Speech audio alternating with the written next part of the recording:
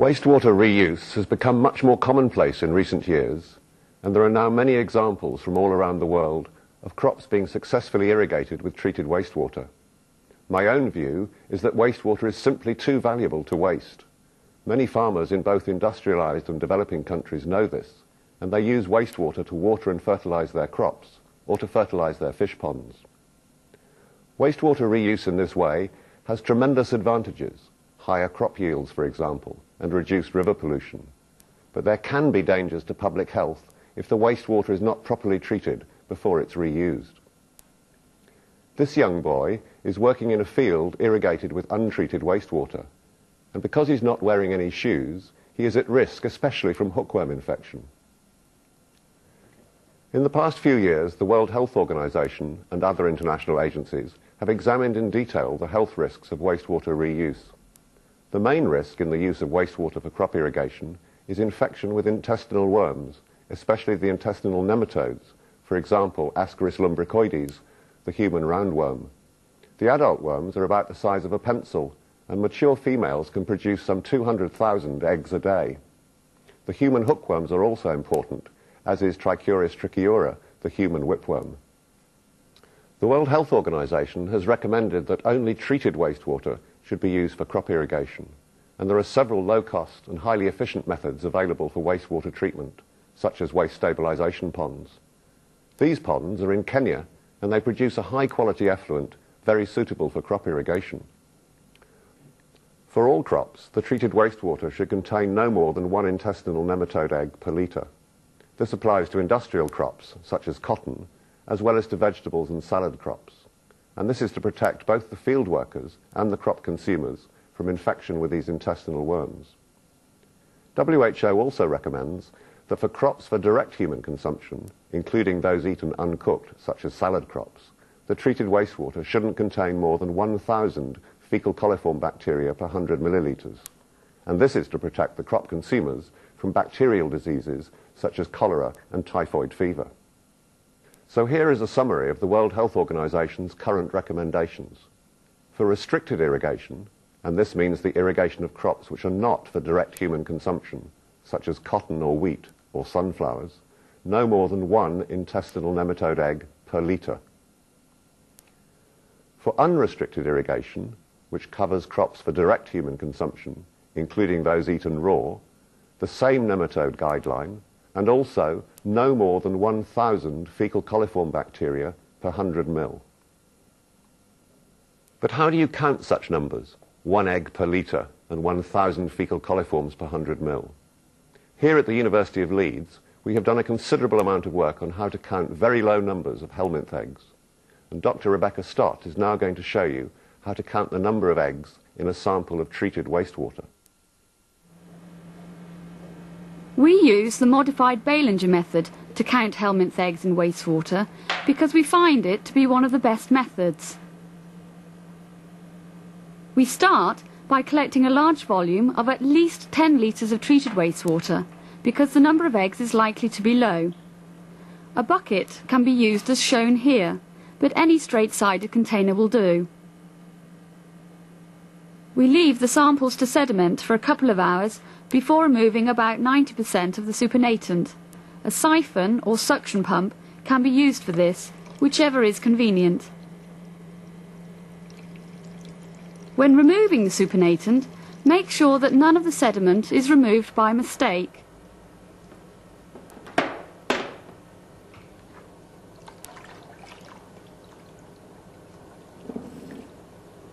We then transfer the sediment from the bucket to a one litre beaker. To ensure that all the sediment is transferred, we rinse the sides of the bucket carefully with dilute detergent solution.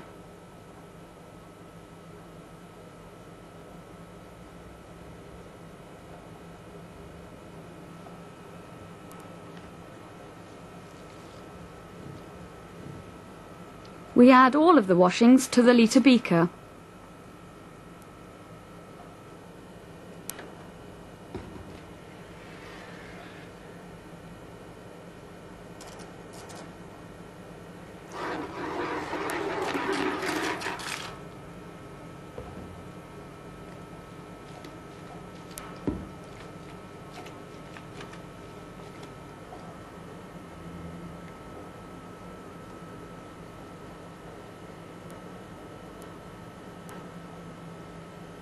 We leave the sample to settle again for a couple of hours before removing the supernatant.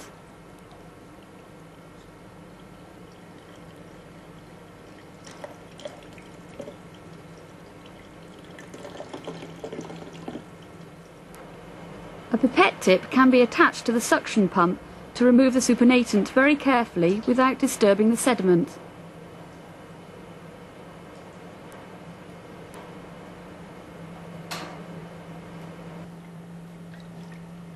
The sediment can now be transferred to centrifuge tubes.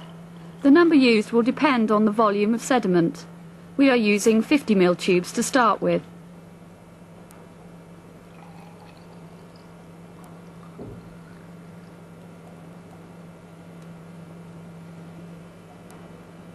Balance the tubes by equalising the volume in each tube.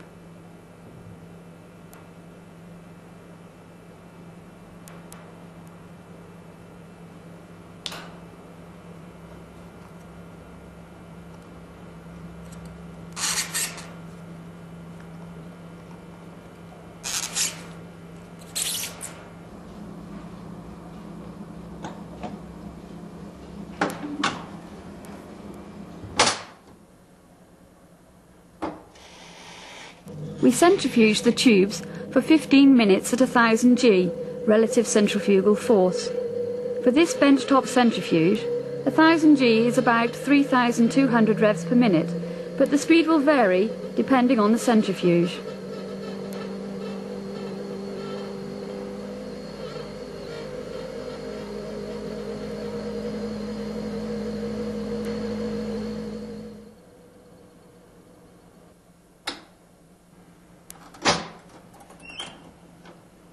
After centrifuging, the eggs will be in the pellet at the bottom of the tube. Again, we remove the supernatant from the tubes.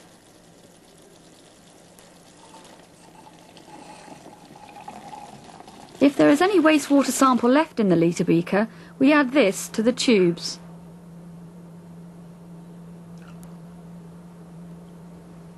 We rinse the container again thoroughly with detergent and these washings are also added to the tubes.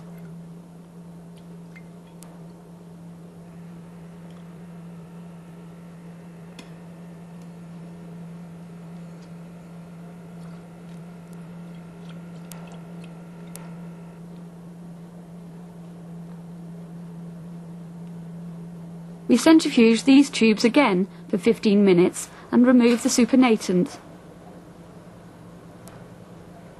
We then transfer the sediment to smaller graduated tubes. Remember to rinse the tubes and transfer the washings as well.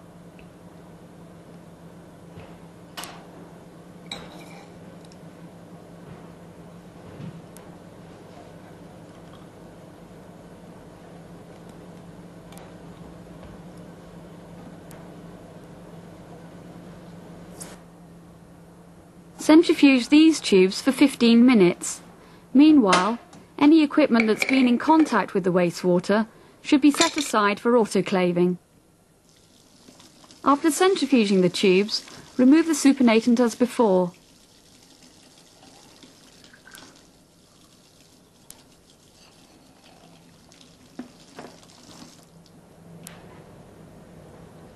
All the sediment can now be transferred to one tube.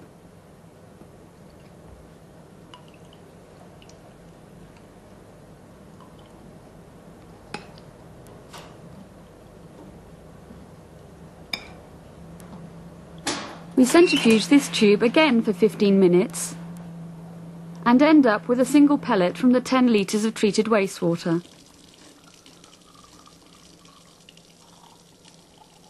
We remove the supernatant and record the volume of the pellet after centrifugation. For the next stage of the method, we carry out an extraction. We suspend the pellet in an equal volume of acetoacetic buffer. If the pellet is less than 2 mils, as it is here, we add buffer up to 4 mils. This will allow the supernatant to be poured off without disturbing the pellet, as we'll see later.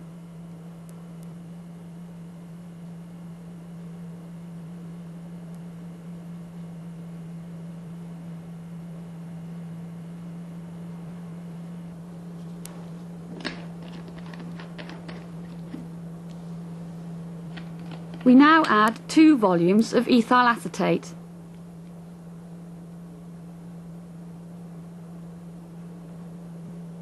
So, in this case, we add 4 mils, making the total volume up to 8 mils.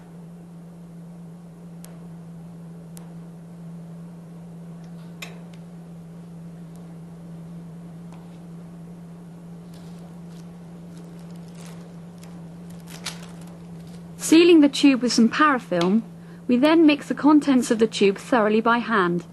A vortex mixer could also be used for this. We then balance the tubes and centrifuge at 1000 G for 15 minutes. The sample has now separated into three distinct phases. The bottom layer contains the helminth eggs and other heavy non-fatty debris, and we record the volume of this pellet. The clear middle layer is the buffer. The top layer is the ethyl acetate, and it contains fatty and other material which forms a dark plug. We need to gently loosen this top layer so that we can pour off the supernatant in one smooth action.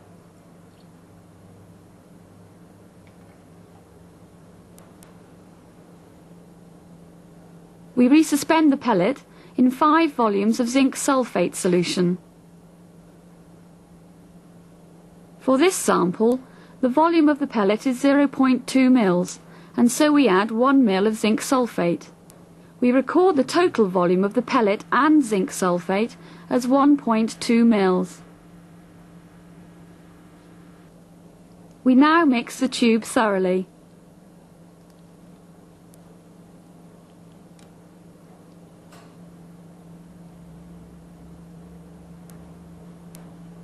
Using a Pasteur pipette, we remove an aliquot and transfer this to a McMaster slide. This is a new single chamber slide the old slides have two chambers. When adding the sample, try to avoid any air bubbles under the grid. When the chamber is full, the volume under the etched grid is 0.15 mils. We leave the slide to stand for about 5 minutes before placing it under a microscope. This allows the eggs to float to the surface and lie under the grid.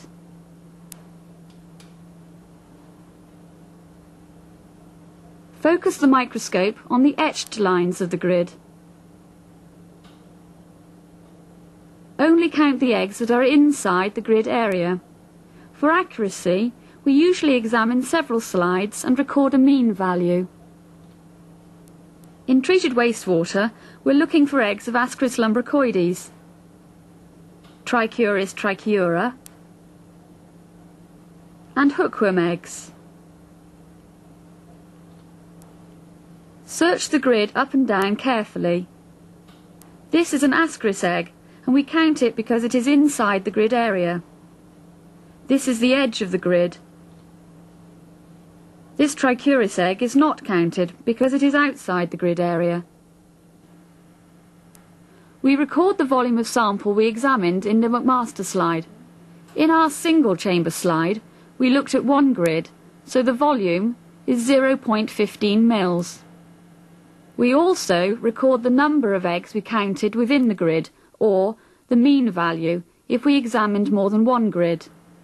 We then calculate n, the number of eggs per litre, by multiplying the number of eggs we counted in the slide by the volume of the final product, and divide our answer by the volume we examined in the McMaster slide, multiplied by the volume of the original sample in litres. The answer is 0.8 intestinal nematode eggs, which is within the WHO guidelines, so this treated wastewater is safe to use for restricted irrigation. Now we are going to move on to counting fecal coliform bacteria. There are several standard laboratory techniques to do this, but we are going to show you a very simple method which is especially suitable for the routine monitoring of treated wastewaters. One of our public health engineering technicians, Karen Abbis, will now show you how to do this. When we're doing the bacteriological examination of a treated wastewater, or any water for that matter, we have to ensure that we don't accidentally contaminate the sample while we're doing the analysis. So we start off by sterilising the laboratory apparatus in an autoclave or pressure cooker for 15 minutes at 121 degrees C. And then we adopt special aseptic analysis procedures. The first thing we do is sterilise a suitable container. We then collect a sample of the effluent and bring it to the laboratory, keeping it as cool as possible in transit. When we open the sample bottle, we quickly pass the neck of the bottle through a flame. This is part of the aseptic procedures.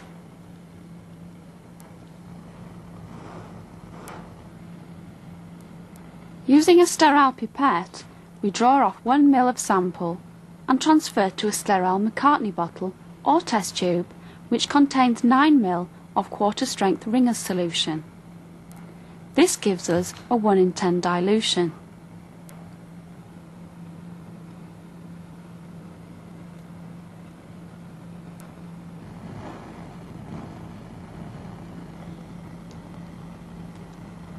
We shake the solution thoroughly before transferring 1 ml of it to each of these five sterile test tubes. These tubes contain 5 ml of A1 medium and an inverted Durham tube.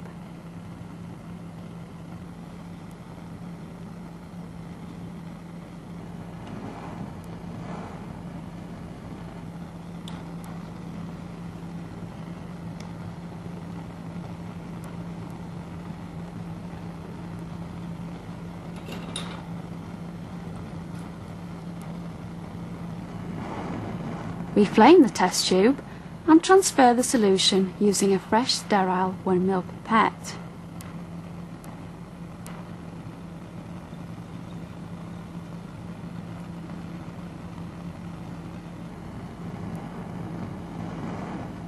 Using the same pipette, we repeat the procedure for the other four test tubes.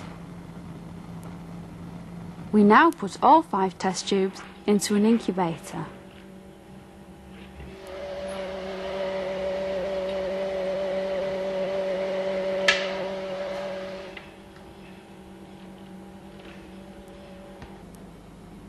The samples are incubated at 44 degrees C for 24 hours. At this temperature, only fecal coliform bacteria produce gas from the lactose in the A1 medium, and some of this gas becomes trapped in the Durham tube. After incubation, we examine the tubes to see which have produced gas. We count the number of positive tubes in this case, there are three. Then, using this table, we can determine the most probable number of fecal coliforms per 100 ml of sample. So in this example, the MPN is 910. For unrestricted irrigation, there should be no more than 1,000 fecal coliform bacteria per 100 ml.